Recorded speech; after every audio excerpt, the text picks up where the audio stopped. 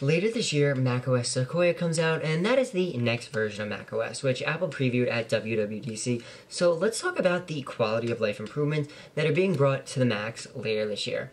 Now, the first obvious big one is Apple's intelligence. Now, if you have an M1 Mac or later, so essentially an Apple Silicon Mac, you're going to get Apple Intelligence. It appears that nothing is being held back from these Macs. Just like with the iPad, if you have M1 or later, you're getting the features but the only features they're holding back on is with the iPhones, as you need a 15 Pro or Pro Max or later.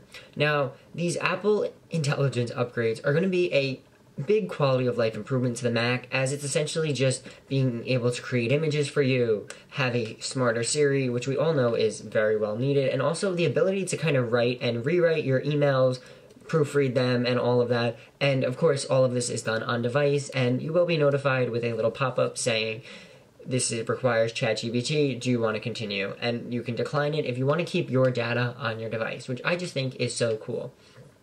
Now, one of the big updates for the Mac is going to be using your iPhone on your Mac. So iPhone mirroring is finally here, and I do know they kind of Sherlock this from some apps. As I had an app years ago on my Mac that allowed me to essentially use my iPhone from my Mac, or at least to see my iPhone screen. But Apple with iPhone mirroring, it is changing the game as you'll have the ability to control your iPhone, type on it. Camera and microphone, I don't believe, are working right now through your Mac, and if you try to use them, they are disabled. And I believe this is how it's going to be going forward, just from a security aspect, which personally I think that is fine. And also, I believe it would be a, probably more of a battery drain to kind of take your iPhone and then put in the Mac camera and then kind of like piecemealing it. So I definitely think that is going to be something that a lot of users may be upset about, but being able to do essentially everything on my iPhone from my Mac, I know is just going to be a game changer as you'll have the ability to view all your notifications right in your notification center, even if your iPhone isn't connected, just if it's nearby, which is just so nice because you'll finally be able to see if your Apple Watch is charged, if you hit your activity rings, and all of that straight from your Mac. And I also feel this is opening a door to kind of potentially having Apple bring other devices to the Mac or even the um, Vision Pro, as right now you can't interact with your iPhone and wear the Vision Pro. I think this is kind of the first step to seeing your iPhone brought to Vision Pro and more other devices, even maybe the iPad later on, which is just going to be so cool and so nice to have. Now, coming later this year, you'll also be able to drag and drop files from your iPhone to your Mac. And when you're using your iPhone, don't worry, your screen will stay off, so you, no one will be able to see that you're interacting with it. There will be a little notification on your lock screen that'll just say iPhone mirroring and let you know that someone's connected. That way, if it isn't you, you can quickly disable it.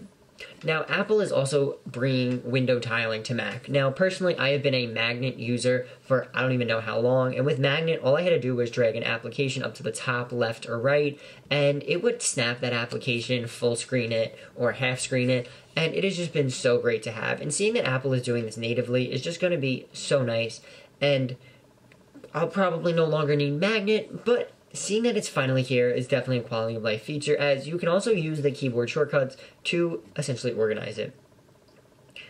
Now, we also have presenter preview, so when you're in a video call, you'll be able to see everything that you're going to display before you display it, just to make sure that you're displaying exactly what you want to. There's also the ability to replace your background, so if you don't want everyone to see what's on behind you, you can essentially put yourself in Mac OS High Sierra, which I did find a little weird, and a bunch of other different environments, which is just going to be so nice to have. Now, Safari also got a bunch of improvements, and this is going to be across the board, so iOS and iPad OS, and even Vision Pro, which is just so cool that Apple is kind of bringing all these features to everywhere. So on Safari, you'll now have the ability to highlight a site. So this will essentially pull the relevant information from a site and be like, this is what you want to know. Here's the contact information, the address, and an email address, for example. There's also going to be a smarter reader with more control with web video, as you'll finally have the ability to kind of full screen it and take over the full Safari window if it's essentially a web page where the video is on the left and a bunch of text is there and you just want to focus on that video.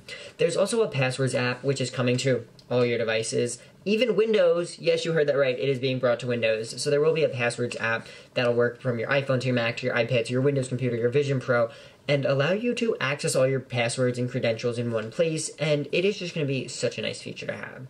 Now, gaming was also updated on the Mac, as you're just going to have new and upcoming games that take full advantage of the Apple Silicon and Metal 3. But personally, I don't game on a Mac, so for me, this isn't a big change. Now, we also got all of the iOS 18 message features, so the ability to send text with all effects and have the messages expand and pop and essentially be a lot more interaction. So you can bold, italics, underline, strike through, and add playful animations, or let it suggest what you might want. You can also tap back with any emoji and schedule a message to send later. Maps got a new topographical view, which allows for you to see detailed trail networks and essentially kind of be like, if I'm going on this hike, here's everything, you can see everything you need, which is just so nice to have. You can also save hikes for offline access. So if you want to work on them maybe on the plane or something on vacation, you have the ability to save it down in your Mac and even create your own routes if you know a different way or maybe two trails kind of go together and you may follow on one and then split off to maybe the other one. You now have the option to set your own custom track. Now, Notes is getting a lot smarter with math notes, the ability to essentially do math right in line in notes, which as a student, I know this feature is going to be so useful as I can just say, you know, x equals 3, y equals 4, and then solve for whatever that may be. Or even if you're just budgeting with your friends, you also have live audio transcription. So if you're recording an audio session, it'll now be able to record that and transcribe it in real time for you, which is just so nice to have as I wish I could tell you the amount of times I probably have recorded something and would have liked to have that playback, but you always had to go to a third party app and kind of search for it. Now, you also get collapsible sections. So, this is essentially if you have a heading, you can now collapse it so you don't have to have these 30 page long notes. If you have everything sorted under headings, like I know personally that's going to be game changing because I wish I could tell you the amount of time I've had notes continue and continue and continue when everything really could have just been thrown in a header. Now, we also get the ability to highlight text, which the fact that this wasn't here by default, you kind of had to go digging for it and then change the text color, and then you had to fiddle with it to change it back. Now it's here, you can just highlight it by essentially selecting, highlight, and move about your day. You don't have to dig around for it like you did in the past. We also get that AirPods integration with the ability to shake your head for if you want to decline or shake your head yes. That way you don't have to interact with Siri when you're using AirPods, as well as that voice isolation, which is going to make it sound so much better and kind of drown out that loud background noise so you don't hear it when the other person doesn't hear it.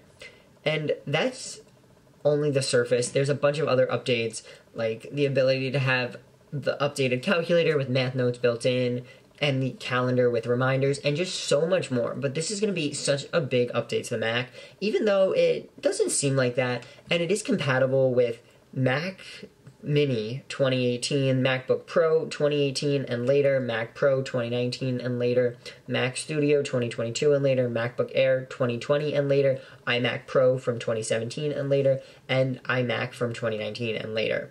And I gotta say, I'm really excited for these updates, but let me know what your thoughts are with a comment down below. And while you're down there, if you want to hit like and subscribe, I'd appreciate that as well. And I want you to remember that today's a good day to make a great day. And I'll talk to you in the next one. Peace.